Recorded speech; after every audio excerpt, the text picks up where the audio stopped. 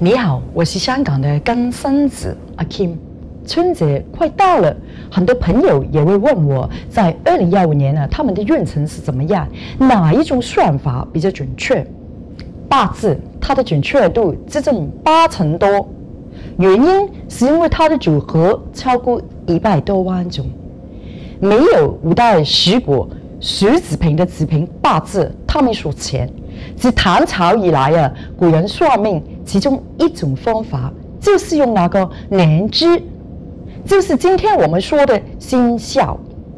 如果我们用生肖来算命，只能谈到神煞，就是我们说的吉星和凶星。这是所谓的神煞，其实也是按年不停的循环，所以它本身就已经有它的局限。后来有人。把八字里边的食神套进去，这是我们说的比肩劫财、食神三官、正偏财、官煞和正偏印。你肯定会想呢？现在全世界人口超过七十三亿，怎么样也不可能呢？只有那区区的十二种运程，对吗？话虽如此啊。新年用生肖来预测来年的运程，在我们华人社会里早已成为传统习惯。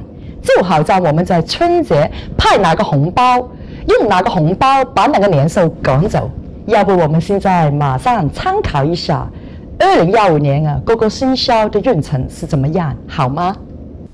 属猴的朋友有一九四四、一九五六、一九六八、一九八零、一九九二和二零零四年呢，以立春过后为准呢。属猴的朋友在二零幺五年啊，运程跟属兔的朋友相差拇指啊，也很棒。贵人、桃花、正偏财都非常之好啊！真的要在二零幺五年啊多做事，实现梦境成真呢，富居。四贤，节中有三克：太阳、天一贵人、红鸾。太阳属阳的，代表男性。属猴的朋友在二零幺五年的贵人大部分是男的。如果你是从事 sales marketing 的，最好跟着男性客人老板，肯定没错了。属猴的朋友还有天乙贵人啊。可以逢凶化吉，立功名财禄，红人主桃花和婚姻啊。未婚的又想结婚的，就要好好留意身边的异性；但是已婚的就要小心自己的桃花太旺，发生三角关系、桃花劫。尤其是一九八零年出生的朋友。凶星有孤城啊，废弃、劫煞、天空和子背。属猴的朋友在二零幺五年，因为走贵人运，在家自己的才华，能者多劳啊，压力也大，觉得自己好像有点孤单了。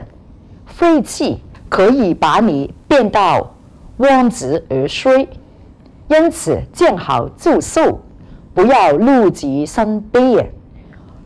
例如，钱赚多了，桃花也旺，每天流连在樱花之地，很容易跟人家争执啊，被人破头等。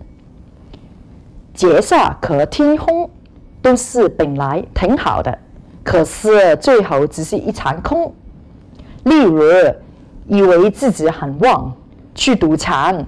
洗了钱不走，最后什么都没有。劫煞除了破财，还会影响你的健康。天空星不止破财，连心情也会变得很空荡。在家孤城啊，桃花劫就很容易出现啊。只被只被小人在背后放暗箭，千万不要。光芒太露，免得引人妒忌。以一九五六年出生属猴的朋友最好。一九八零年出生属猴的人啊，就要小心桃花劫和破财。要特别留意正月农历二、七和十月份，还要尽量避免出席探病、问伤的场合。到底还有什么吹节比凶法风水不绝？详情可以浏览我的官网和土豆网。最后祝大家羊年好运，心想事成，身体健康，财源滚滚来。